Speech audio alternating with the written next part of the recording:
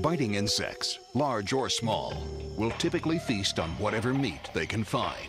And the exposed flesh of naked and afraid survivalists often makes a tasty meal. Ooh, that burns.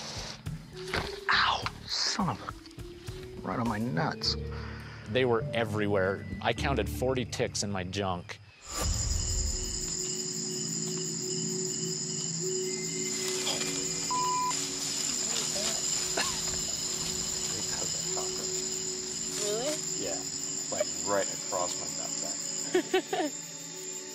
It was very invasive. I feel violated.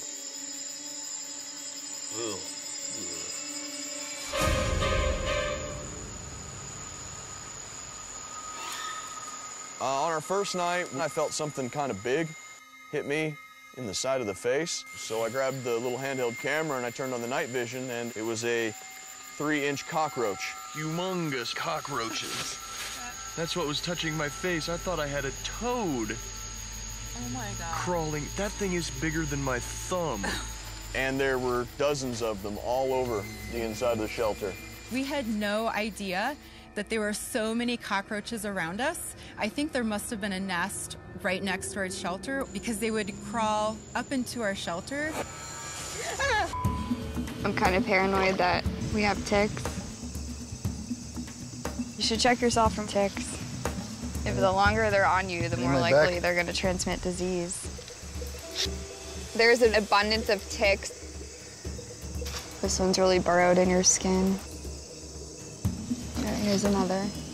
It makes me nervous because we could get Lyme's disease. There could be more ticks that we're not finding, and it's really hard to do without tweezers. There one over here.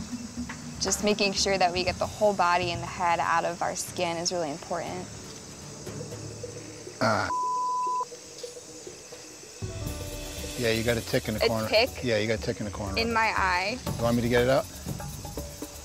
You better get the head out too. Hold on. Did right, you I- get it? Yeah, let me see. All of it?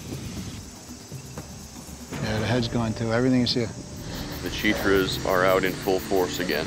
They've really come out swinging. And my partner is over here having another another terrible reaction to these little biting heads. Just having an absolutely miserable time.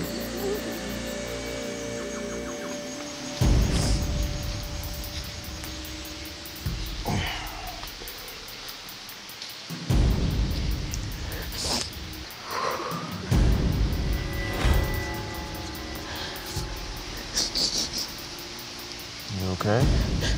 I don't know if like my skin's extra sensitive or what, but like it just, I just want to take it all off. It hurts so bad.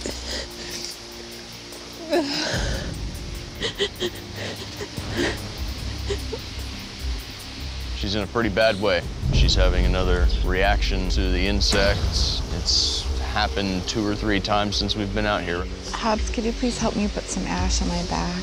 Yeah. Thank you. Mud made from ash can help cool the skin, temporarily relieving discomfort caused by bites and stings. Here you go. Thank you.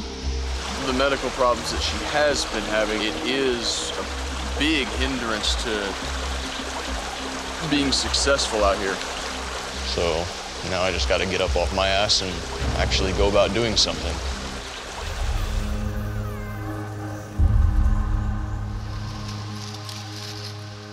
Well, you know, it actually is not looking half bad right now. Yeah, looks pretty good. Ouch. These little bugs that are crawling on my skin, look at them. They're all like moving on my skin, right? And when I touch them, they stop and they burrow into my skin. You see them? Uh-huh. It's a breeding ground. That's sugar. I felt like I had little like tingly spiders underneath my skin. They're having a party. I certainly hope uh, we don't break out in some kind of weird hives and oh, I'm sure that we're gonna get bug bitten Yeah. all to hell.